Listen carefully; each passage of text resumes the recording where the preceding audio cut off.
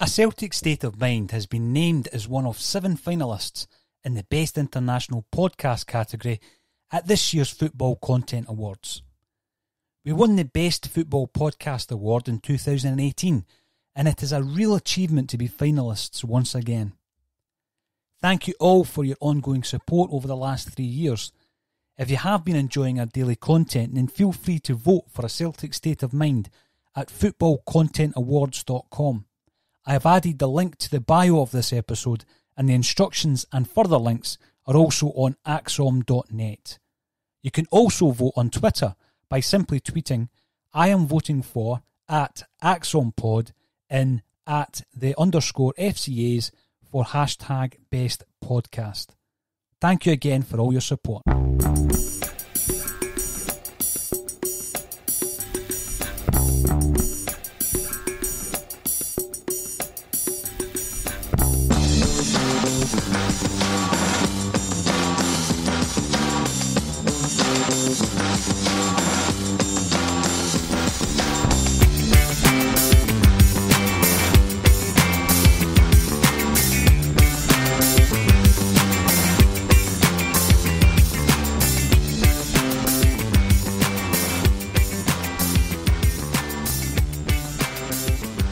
Welcome to a Celtic State of Mind. I'm Paul John Dykes, and today I'm delighted to be joined by Colin Watt.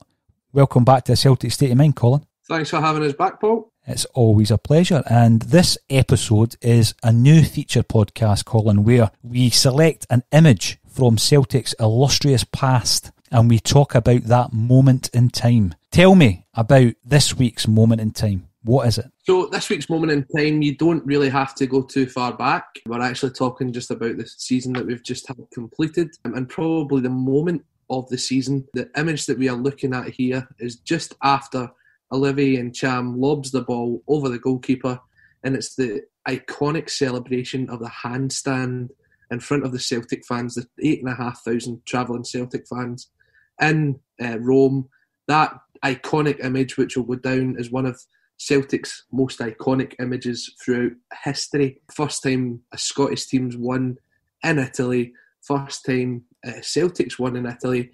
And oh, a sore head for me the next morning, put it that way. Well, a sore head for you, Colin. It might have been a sore head had you not been at the game, but you were one of the lucky eight and a half thousand who travelled over to Rome. So, first and foremost, let's talk about your recollection of that moment in time because I think it felt like more than a moment to you when you were in the stadium. Oh, honestly, it felt like a lifetime. I remember just before the goal was scored, we had the ball in the right hand corner, left hand corner if you're watching it on TV, and we had the throw in, and it looked as if we were just trying to kill time, just trying to see the game out. And I was happy with that. I was more than delighted for Celtic to be going back with a point. And the guy standing next to me, he's he wasn't having it he was determined we could still win this game, and I'm, I'm kind of looking at him going, "Have you seen our away European record? A, a, point against Lazio is incredible. What's this all about?" And he's like, "No, no, no, we can win this. We can win this." I'm going, "Nah, no chance." But right enough, the ball falls through. Edouard picks it up, plays it into Ntcham, and as the ball is lofted over the goalkeeper, we're just kind of standing there, and I'm, I'm, turning to my pals, and we're going, "Is this really happening?" Like the, the ball seemed to take forever and a day to drop down. At first, I thought he'd missed it, and it's two second delay, and you go, "Has this really happened?" The ball's actually dropped into the net. We are now two one in front and from that moment onwards, we just leapt in the air. I actually didn't see Ntcham's celebration because I'm too busy hugging my friends, hugging that random person that told me that we could get the three points. I didn't see it until we watched the, the goals back the next day. And that moment will live with me as one of the best moments I've ever had following Celtic, home, away, anywhere. Just the, the scenes that day and the, the hour and a half that we spent in the stadium after it, singing and, and dancing, it was incredible. It was, just one of those moments where I was absolutely delighted to be part of it, and I'm sure there's thousands of people that are absolutely gutted that they weren't there. You're talking about one of the best moments that you have had supporting Celtic. And you obviously went over to Rome in the aftermath of the political fallout from the first leg, Colin. Celtic fans, largely by their very nature, have political sensibilities and they are on the left side of politics, which is something that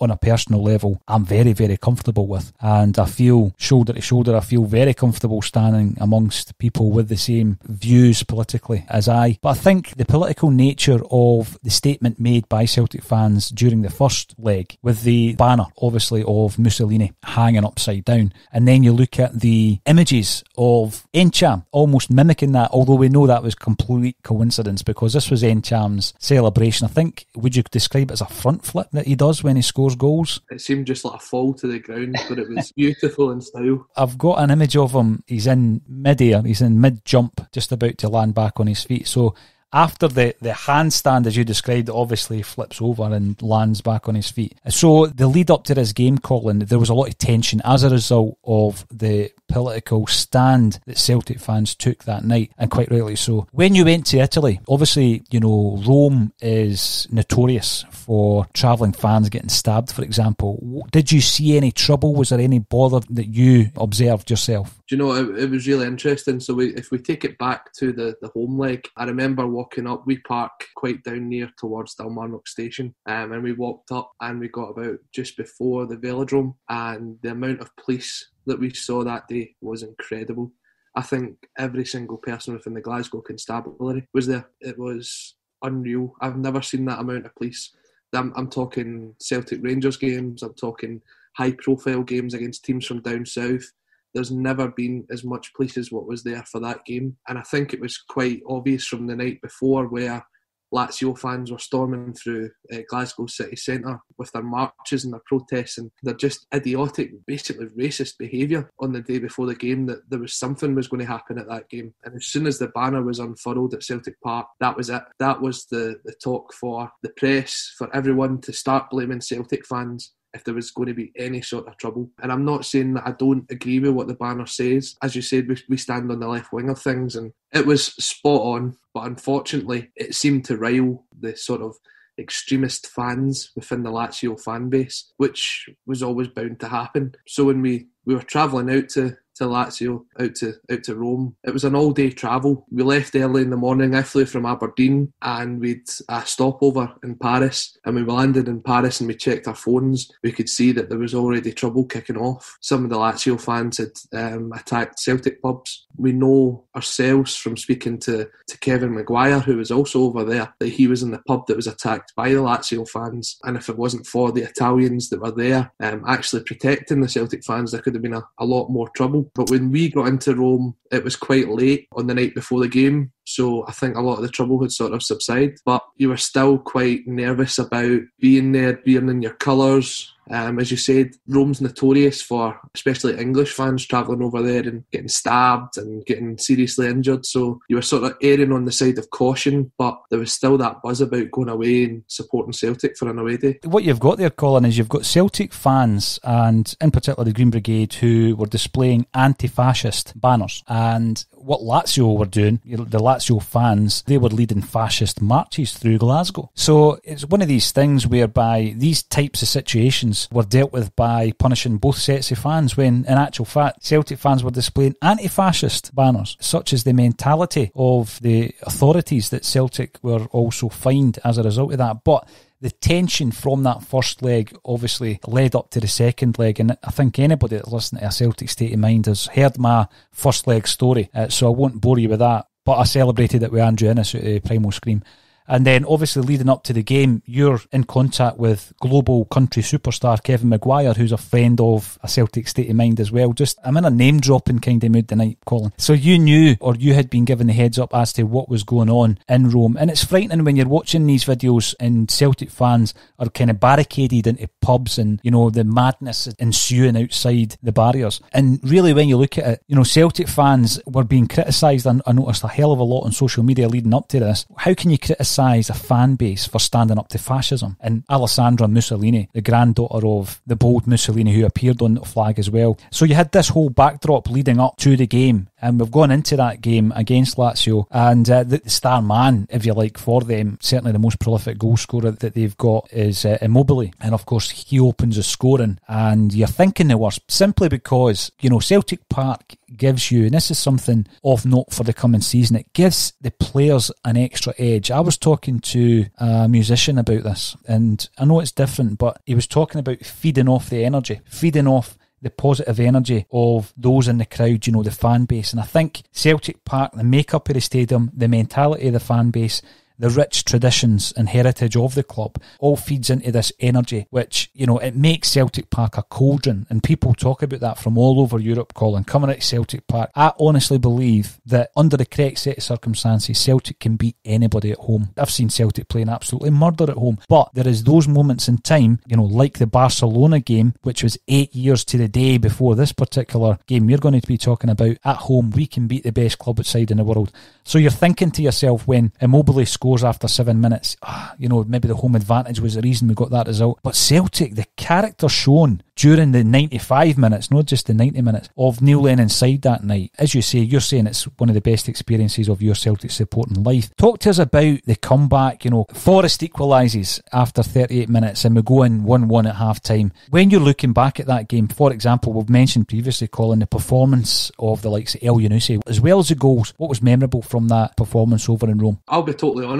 My track record going away in Europe with Celtic has been, to use the probably nicest word, absolutely honking. I hadn't seen Celtic score away from home in Europe. I was pretty much a jinx. So going over to this game, I think a lot of my pals are going, I tell you what, if we get horsed this time, you're not coming back. So the fact that Celtic actually pulled a goal back and I got to see Celtic score was amazing. Um, that was my main aim for the whole trip was just to see a Celtic goal.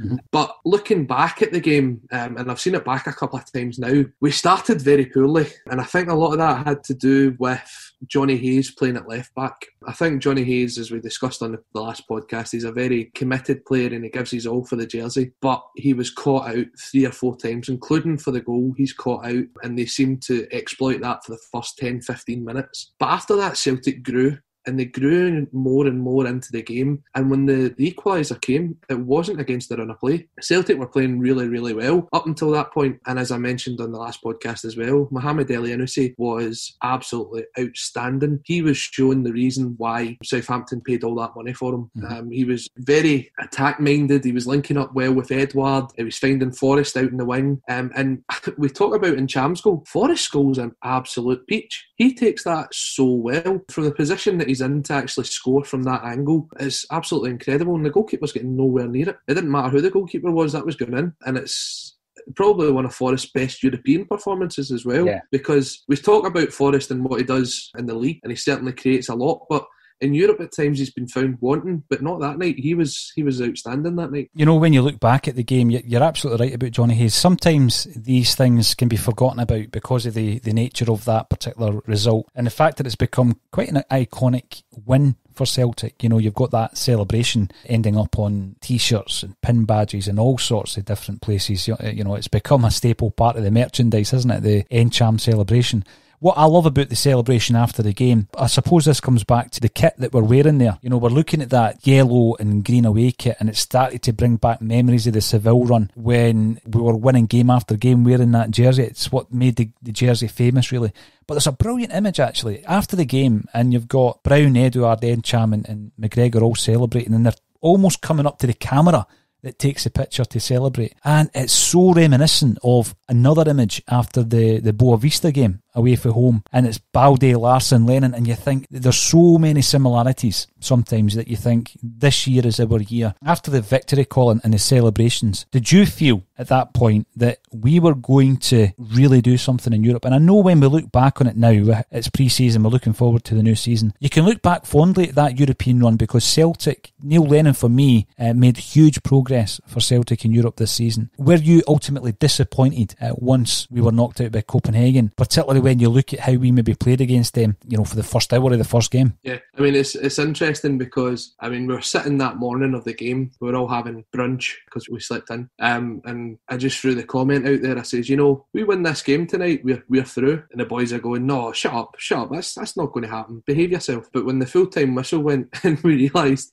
we're actually through, the next thought wasn't on the other two games that were still to come because we still had two more games to play. It was who can we get in the next round? And when the draw was made and we got Copenhagen, you're going, that's not the worst draw at all. The thought was, right, who are we getting in the next round? Um, and as you say, it's absolutely disappointing to get knocked out at that stage. I think, I don't know what it is. It, it reminded me very much of when we played Cluj in the home game at Celtic Park. We sort of ran out of ideas of how to to chase and to get that goal that we needed, and then they end up we sort of done ourselves out of it. And that's exactly what happened against Copenhagen. We kind of ran out of ideas on how to, to get that goal. And I think when you look back at it, when we look back at the games that we played in the group stage, there was never any panic. Even on the opening day against Rennes, when you went one behind, there was never a panic. We fought and we fought our way back into the game. We, we took control of a lot of the group stage games. Even going back to that game in Rome, for the first 60, 65 minutes of that game, Celtic were in control. It wasn't until maybe later on when the legs get tired that Lazio started to come back into it and they had their best chances of the game. But Celtic never gave up. But it just felt as though we kind of gave up in that game against Copenhagen and we were just resigned to the fact that we're a last 32 team and that's as good as it's going to get. And I don't know if that's just the, the mentality of the squad because there's a lack of experience on those sort of occasions or it was just an off night. Um, but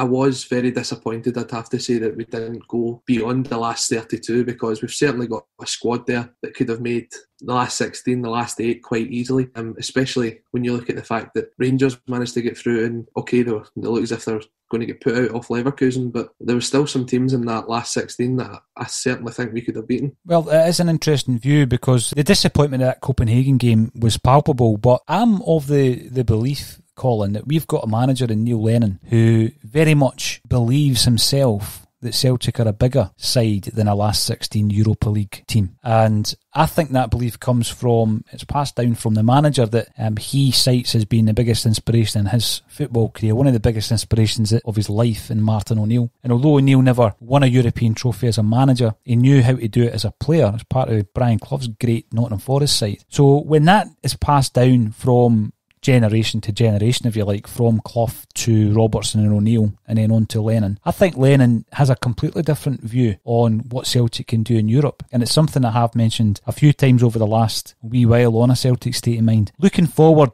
to the new season, the priority is 10 in a row. And I think most Celtic fans will realise that that is the be all and end all, really, going into this season, Colin. But we always look at Europe because, you know, it's a long, hard road to get there uh, for a start. It's then, you know, it's almost, it feels as though you're qualifying twice for it, going through the qualification process. That, you know, 12th man, as you could call it, of the Celtic support isn't going to be there for the earlier rounds. Celtic won't have the same buying power as you might have expected this pre-season simply because of the circumstances and they're hedging their bets as most of global football will be. Therefore, I'm looking ahead to next season and I'm wondering because every club's going to be in the same boat, Colin, which is a great leveler. But I am wondering next season can Neil Lennon builds on the progress that was made. Obviously, there was a few concerns, mainly in the um, the games against Cluj where we were knocked out in the Champions League, but also the Copenhagen tie as well, which I think, you know, the, the most frustrating thing about that was Celtic were not at their best. Do you think we can progress further moving into this season, or do you think the 10 in a row, the lack of having fans at the game, probably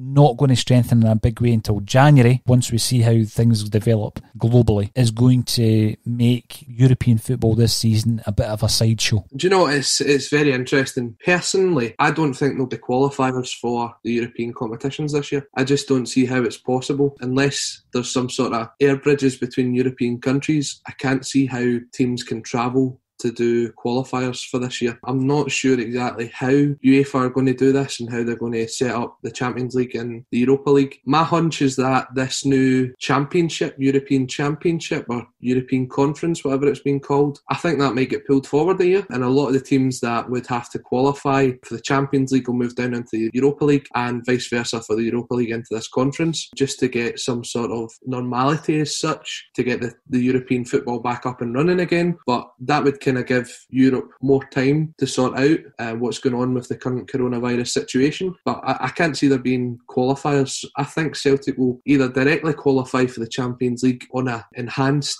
stage where there's more than 32 teams in the group stage, um, or they'll directly qualify for the Europa League with some sort of compensation from UEFA for the fact that they didn't get the chance to qualify. And no matter which competition Celtic are in, I still think that there will be a drive from the team to get better and to do better than the previous year because when you look at the likes of Odsonne Edouard, he's looking for his next club. We, are hoping to keep him on for 10 in a row, mm. but the better he performs in Europe, the more it opens up his window of opportunity and it opens up to him getting a bigger and better team.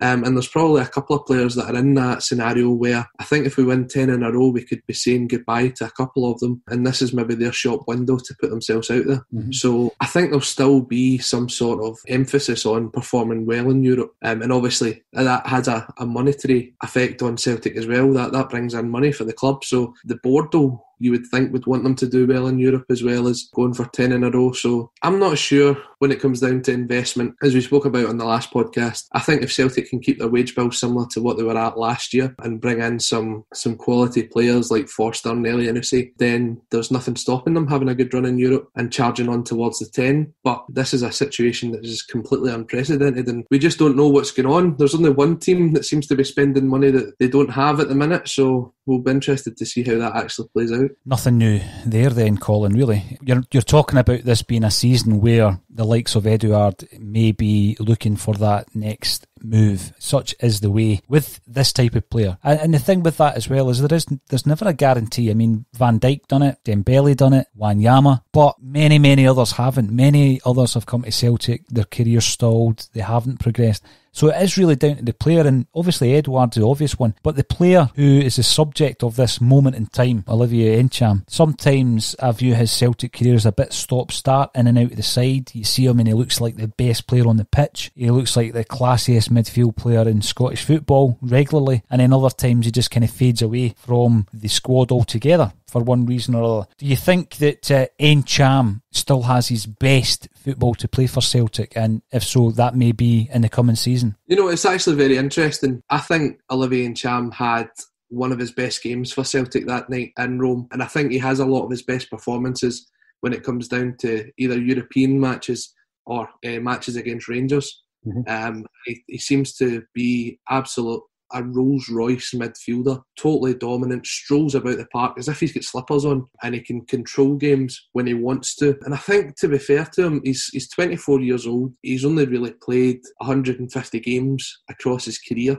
Um, for a 24 year old, that's actually not a lot. So for him, he's maybe still developing and maturing as a player. And I say, I think there's definitely better days to come for Ntcham. When we look at when he was potentially about to go down to West Ham back in January, mm-hmm. and the bid was a talk of about 15 million pound or something like that. I can't remember specifics. But then he goes and plays against St Johnstone that night and has an absolute fantastic game. Scores the opening goal. That header was an absolute bullet. And after the game, he came out and said, I'm here, I'm Celtic, that's me. And I think there is a, a, a, dedication to the club that he plays for. And I'm not sure how long he's got left in his contract, but I think there's still there's still a lot to come from from Ntcham. His contract's actually up in 2022, so we've still got two years of Ntcham left. And I think if he's a very good year this year, then it could be another one that, that moves on after the 10. Well, here's hoping that we can keep some of our star men beyond 10 in a row. Colin, I think the last words on this moment in time will be reserved for Stan Collymore, who on that night tweeted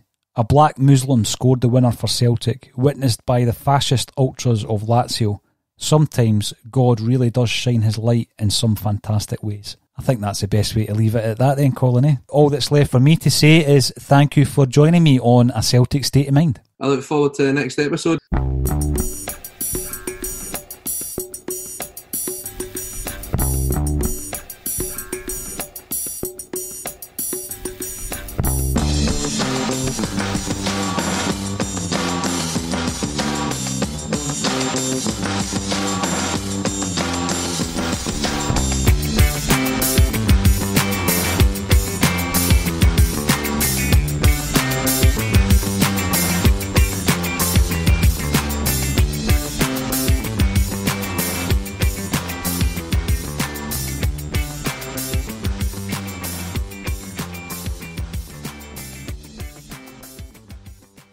Celtic State of Mind has been named as one of seven finalists in the Best International Podcast category at this year's Football Content Awards. We won the Best Football Podcast Award in 2018, and it is a real achievement to be finalists once again. Thank you all for your ongoing support over the last three years. If you have been enjoying our daily content, then feel free to vote for a Celtic State of Mind at footballcontentawards.com. I have added the link to the bio of this episode, and the instructions and further links are also on acsom.net. You can also vote on Twitter by simply tweeting, I am voting for at acsompod in at the underscore FCAs for hashtag best podcast. Thank you again for all your support.